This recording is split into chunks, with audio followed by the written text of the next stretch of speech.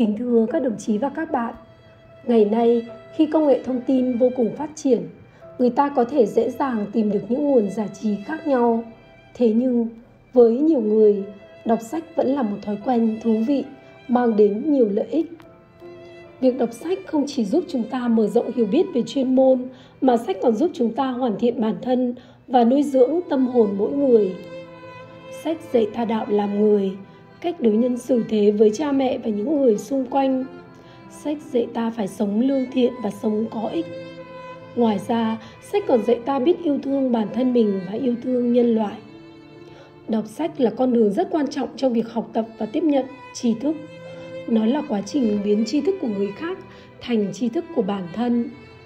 Chính vì vậy, đọc sách là nguồn quan trọng để tiếp thu trí tuệ, nhưng chỉ khi nào bạn có một phương pháp đọc sách khoa học và kỹ năng thành thục thì bạn có thể nâng cao được hiệu quả đọc sách và tiếp thu được càng nhiều hơn những tri thức giá trị.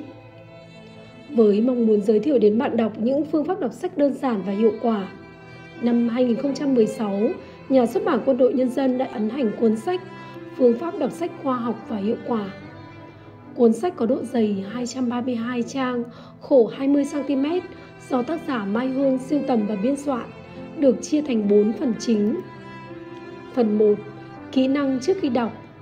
Phần 2. Phương pháp đọc. Phần 3. Phương pháp đọc đơn giản. Phần 4. Kỹ năng khi đọc sách. Trong phần 1 của cuốn sách, tác giả giúp bạn đọc trả lời câu hỏi Trước khi đọc sách chúng ta cần có những kỹ năng gì? Đó chính là các kỹ năng chọn sách để đọc, làm thế nào để chọn sách tham khảo, đọc cần có chọn lọc, sắp xếp thời gian đọc như thế nào cho hợp lý.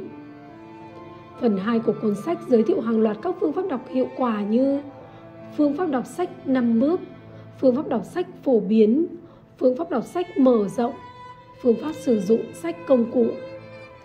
Phần 3 của cuốn sách giới thiệu hàng loạt các phương pháp đọc đơn giản như phương pháp đọc kết hợp với suy nghĩ, phương pháp đọc chú thích, phương pháp đọc kết hợp ghi chép, phương pháp đọc kết hợp câu hỏi. Phần 4 của cuốn sách giới thiệu cho bạn đọc các kỹ năng đọc sách như kỹ năng tư duy đóng vai trò như thế nào trong việc đọc sách, bản chất của đọc sách chính là tư duy hay kỹ năng lý giải như một nhà triết học Anh từng nói. Sách lịch sử khiến người ta trở nên thông minh, thơ văn giúp con người ta trí tuệ, toán học giúp con người ta tinh tế, triết học tự nhiên giúp con người ta có tư tưởng sâu sắc, biện luận giúp con người ta trở nên trịnh trọng, logic học giúp người ta giỏi biện luận. Kỹ năng ghi chép, nguyên tắc ghi chép khi đọc sách, cách thức ghi chép khi đọc sách. Kỹ năng ghi nhớ là kỹ năng giúp con người ghi nhớ các thông tin, kiến thức và kinh nghiệm một cách tốt hơn.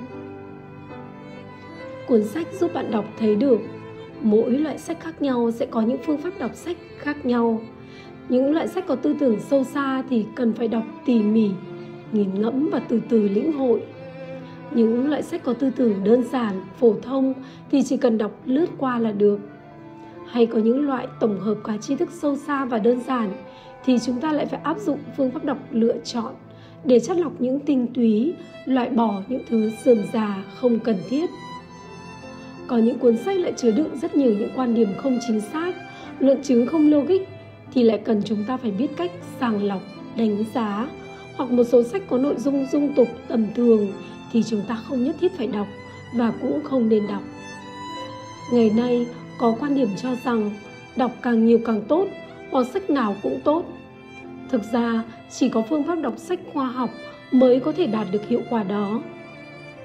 Cuốn sách phương pháp đọc sách khoa học và hiệu quả thích hợp với mọi đối tượng độc giả đặc biệt là các bạn học sinh sinh viên và những người làm công tác nghiên cứu. Thưa các đồng chí và các bạn đọc sách như một nghệ thuật hơn hết thúc đẩy ta thành độc giả say mê. Phương pháp đọc sách khoa học và hiệu quả là người bạn đường không thể thiếu của mỗi người trên hành trình đối thoại để học hỏi, khám phá, tu thân và trưởng thành. Như câu nói của Harvey Mackay, cuộc đời ta thay đổi theo hai cách, qua những người ta gặp và qua những cuốn sách ta đọc.